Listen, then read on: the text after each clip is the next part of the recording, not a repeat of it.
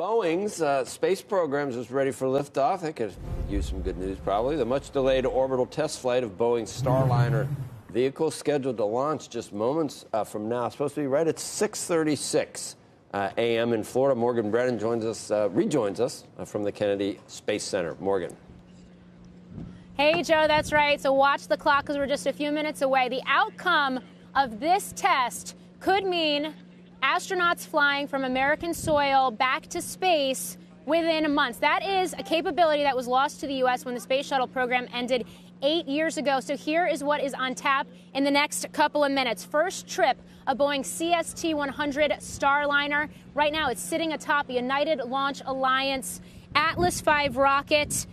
People will not be on this flight, though a center pack dummy named Rosie will be. So will 600 pounds of cargo if all goes according to plan. Starliner is going to dock automatically with the International Space Station tomorrow, stay a week, and then come back to Earth. This is the final test for Boeing before NASA allows astronauts to get on board. Boeing does have competition, though. SpaceX is also part of NASA's Commercial Crew program.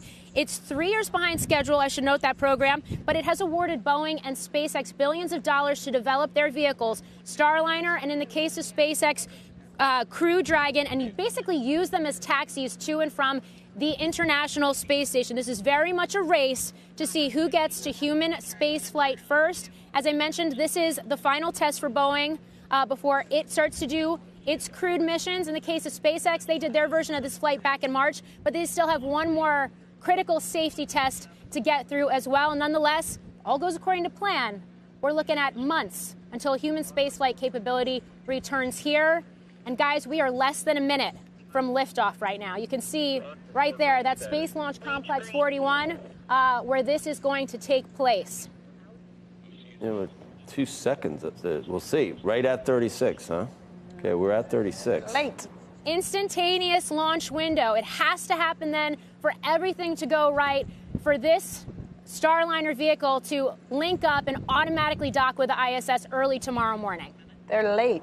Which, by the way, yeah, which by the way, automatically oh, docking is a feat in of itself. Let's see here. All right, 20 seconds more. Good. So it's we're, we're almost there, guys. Between 36 and 37. Greenwich. Greenwich Meridian. yeah. So you can um, see that little ten, cone nine, shape eight, on the top is Starliner. Seven, and here's six, the countdown. Five, four, three, two, one, and liftoff the rise of Starliner and a new era in human spaceflight. Clear the tower. Now 10 seconds into flight. Vehicle's begun the pitch over program. Body rate responses look good. Now 15 seconds in. VU's gone to close loop control. RD-180 looks good at full thrust. Seeing good show pressure on the SFVs. Yeah. All right. So far so good. Looks good. Bird watching a rocket launch off like that never gets old, does it? That's, remember David Faber. David Faber, when we used to write, uh, yeah, he did. It was very profound. Yeah, it's uh, true. Yeah, get, the, never gets old. That, yeah. It never gets old. All right, there you have it. That is Starliner atop an Atlas V rocket.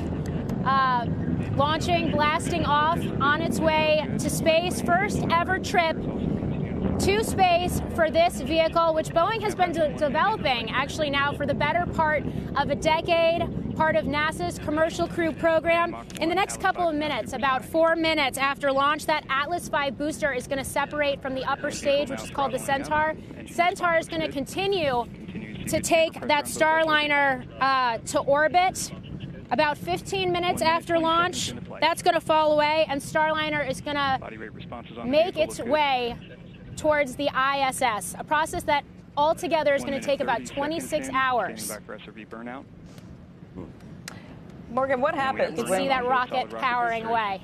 When when humans and astronauts are actually human astronauts are actually on these flights, how would that take place? If it's able to happen months from now, we'd watch something just like this it, take off, and then Absolutely. And, and even though there are no people on board this flight today, every step that they have taken has simulated as if human beings, as if astronauts were on board, to act as if and basically create a dress rehearsal for when that first crewed mission will happen.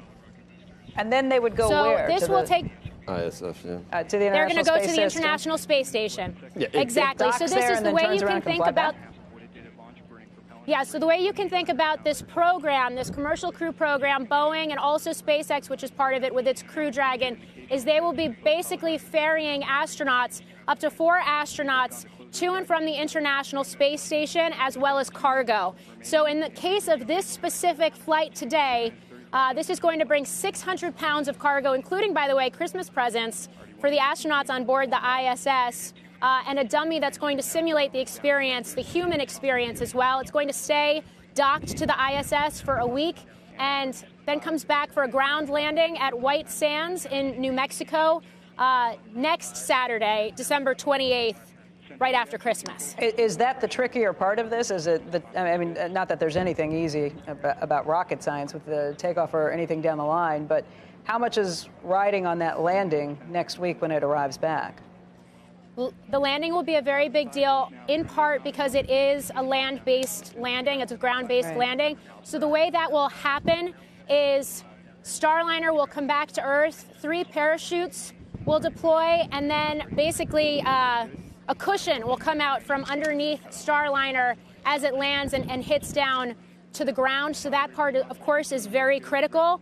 Uh, many times you see spacecraft coming back and doing ocean landings, Right. right? Uh, so that's important. Also, automatically docking with the International Space Station, which is what both Starliner and Crew Dragon uh, have been designed to do, is going to be a critical piece of this process as well. Basically, the spacecraft is designed to do that on its own, and you have astronauts aboard the ISS that can, they're prepped, they know what's going to happen, but they have no way to basically step in if anything goes wrong. It's a very key test.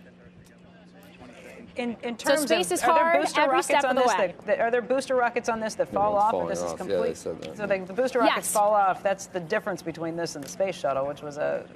No, those fell off too. They fell off and they just came back down. Yes. It looked like the same thing when it came back. That the end. Yes, was so like this that. is Hey, hey, Morgan, uh, in reentry, is it? Remember how that was crucial for, for the space shuttle program, the tiles, and if a tile was missing, there, there'd be a problem. I mean, you still have that, you still have that issue, uh, all the friction coming back when, when you first re-enter uh, the atmosphere. So you got to get that right. It, it looked a little more Spartan than, than a space shuttle too. It's really more of a, of a sh- uh, just to get people up there and back down. It, it just didn't look like you want to spend Yes. a whole lot of time on it. I'll tell you, I have been actually been inside one of these Starliner mock-ups in Houston at NASA's uh, Johnson Space Center, um, and it's uh, it's it's kind of small. To, to me, it's kind of small. They, they can fit four astronauts. There's actually capability for up to seven astronauts. It's 11 cubic meters. Uh, a lot has gone into the safety piece of this, uh, and that is part of the reason why commercial crew, they're originally looking to launch astronauts back in 2017. Uh, the reason we're poised to be three years behind is because of all of those uh, safety issues along the way and making sure everything is perfect Yeah. for the human beings that get Yeah. on board. And you can't fly that thing. I mean, you could fly the shuttle. This has just got parachutes and it drops down with a cushion. You like can- the old time. yeah. Yeah, no, there will be you. You can you you can step in. Uh, there there will be there will be that ability. Really? Um, Oh, okay. But yes, it's so much more technologically. These vehicles are so much more technologically advanced uh, than what we've seen seen prior. I mean, it just continues to that technology continues to develop. I've actually also flown some of the simulators, and it's a lot. It's a lot more intuitive and a lot sort of more straightforward and easier than you might expect.